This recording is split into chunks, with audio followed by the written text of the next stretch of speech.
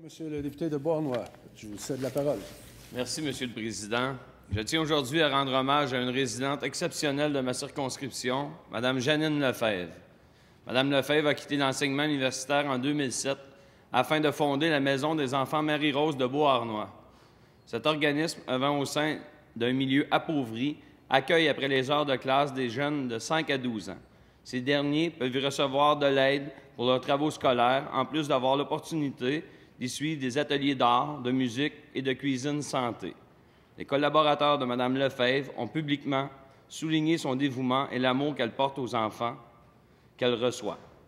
Sa croisade pour faire en sorte que chaque enfant puisse manger à sa faim et sainement lui a valu des, des félicitations méritées et je tiens à les réitérer ici même au sein de l'Assemblée nationale.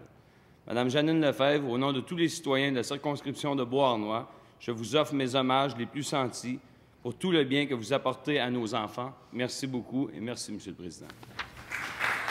Alors, merci à vous, Monsieur le député de Bournois.